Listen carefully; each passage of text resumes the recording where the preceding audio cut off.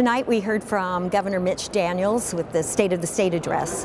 Uh, he put forward his legislative agenda for the year and he has in it um, uh, uh, several proposals that I can support and several that I can applaud.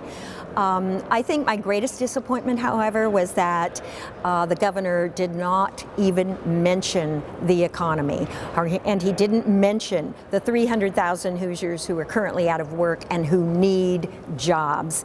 Uh, he didn't mention the fact that our personal income has gone down from 90% of the national average to 85% of the national average. And so all of the other things that he talked about, um, we can address those things, education reform, local government reform, but the but what he didn't talk about were the basics. We have to put Hoosiers back to work so that they can become productive taxpayers and contribute to the budget.